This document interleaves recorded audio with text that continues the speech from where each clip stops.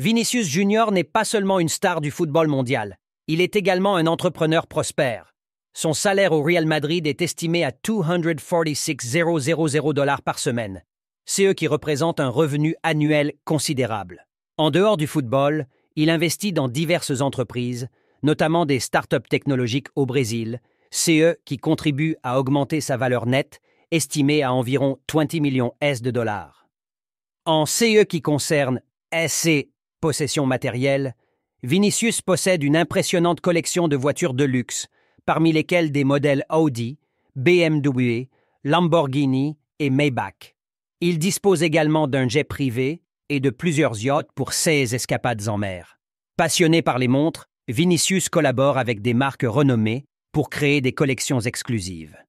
Il est également très actif sur les réseaux sociaux, notamment sur Instagram où il compte des millions d'abonnés et sur sa chaîne YouTube où il partage différents contenus avec ses fans. En dehors de sa vie de luxe, Vinicius s'engage dans des actions philanthropiques, notamment avec son Instituto Vin Junior, qui vise à offrir des opportunités éducatives aux jeunes issus de milieux défavorisés au Brésil.